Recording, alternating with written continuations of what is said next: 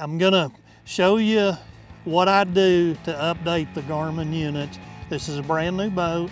It has a 7616 at the main helm. It has a 7612 for the bow, for the uh, traditional side and clear view and mapping, and it has a 7610 for Panoptix at the bow.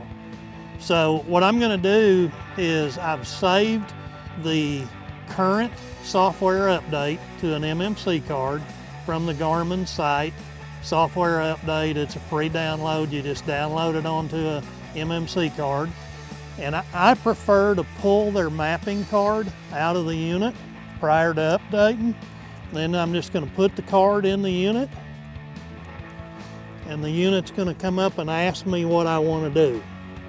And we're gonna update the software. So we're gonna touch the update and then it's gonna ask us, it's gonna tell us that this can take a little while and do not kill the power while it's in the update. So we're gonna hit yes, and then it's off and running and it's updating all three graphs.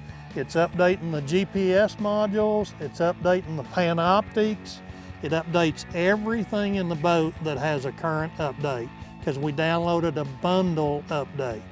Okay, so if you're sitting at home, it's a good time for you to go to Garmin.com, look at your unit and see if there's an available software update for your unit today.